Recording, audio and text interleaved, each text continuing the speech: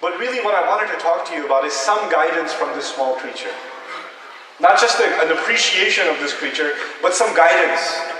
And I found something so incredible, I'm still I'm baffled by it. I found a hadith of our Messenger sallallahu alayhi wasallam considered sahih. وَالَّذِي بِنَفْسِي يَدِي I swear by the one who has my life in his hand. Allah's messenger could have said anything without swearing, but he swears by Allah first. Because what he's about to say must be really incredible. And he says, Inna mathal mu'min ka The example of the believer is just like the example of the bee. I'm sitting there going, subhanallah. First Allah told us that he reveals to the bee. Now Rasulullah says, sallallahu alayhi wasallam, that if you want to be a mu'min, you should be just like the bee. What am I going to be like the bee? How am I going to be like the bee? What is the bee going to teach me about my iman? About how to live as a believer? Apparently, this is so serious that the Messenger of Allah sallallahu alayhi wasallam swore by Allah first and then said that. Must be something really serious.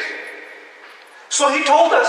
He told us some things we should pay attention to, and there are many more. But I want you to look, look at what the Rasul says, والسلام. He says, أَكَلَتْ طَيِّبًا It eats well.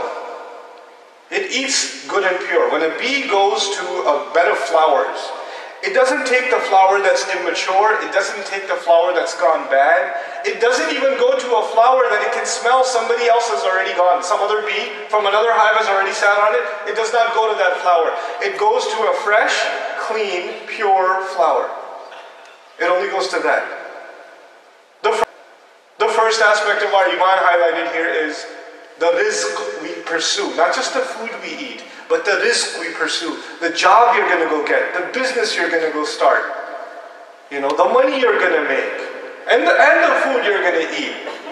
Look for the pure thing. Look for the thing that's pure. Look for the best.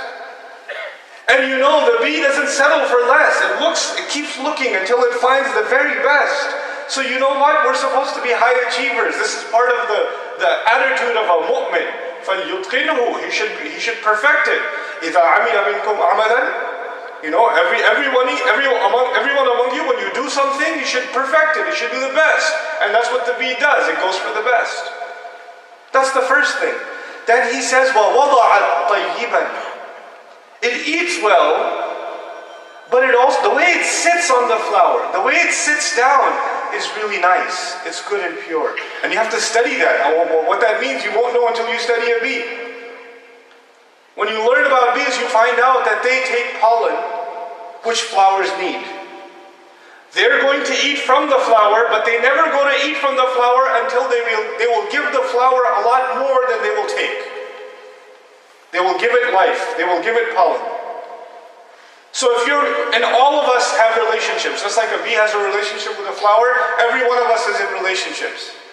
And in every single one of my relationships and every single one of your relationships, you get something and you give something. In your marriage, you give something and you get something.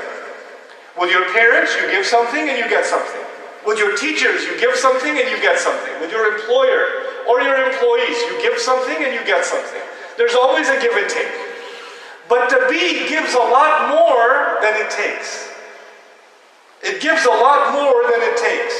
And what it gives makes the life of the recipient better.